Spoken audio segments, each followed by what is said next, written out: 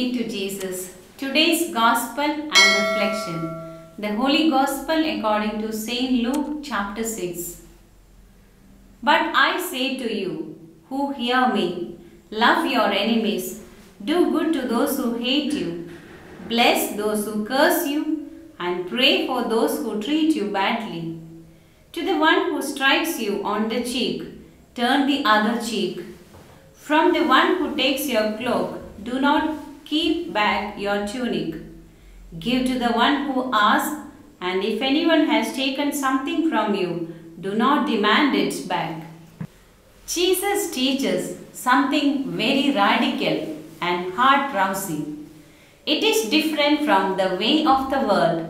In today's Gospel, Jesus speaks of almost 16 things to do as a faithful follower who meditates upon the kingdom of God. Jesus prescribes love for enemies as a panacea for all the distresses of this world. He shows us the way to realize the values of freedom and love without which no just society can be built.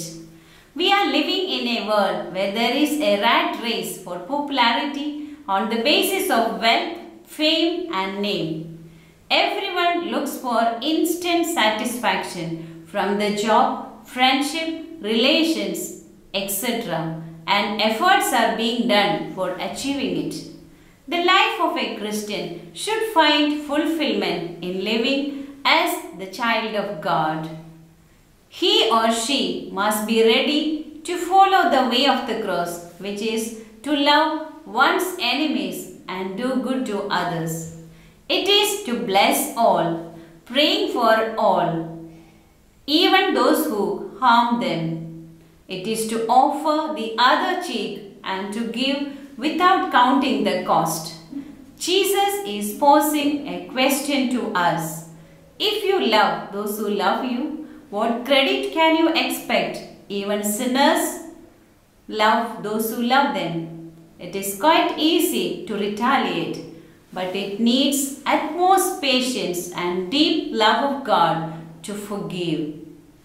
It's quite challenging to show the other cheek when someone strikes, to love without expectations, never to judge, and become merciful as the Heavenly Father.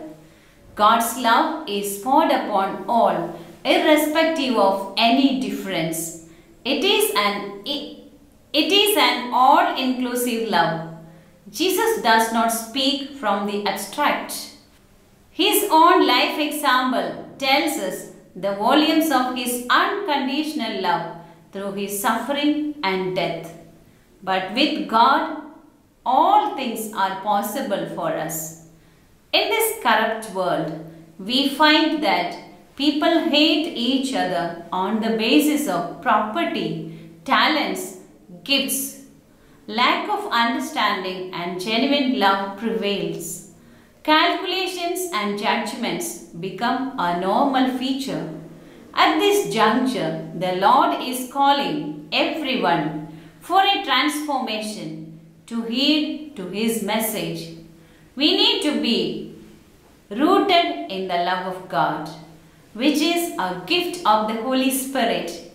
Courage to stand for the truth and bear witness to the ever-loving call of the Lord will help us to be channels of God's mercy, love, forgiveness and peace in this world and thus we can attain the heavenly bliss. Amen.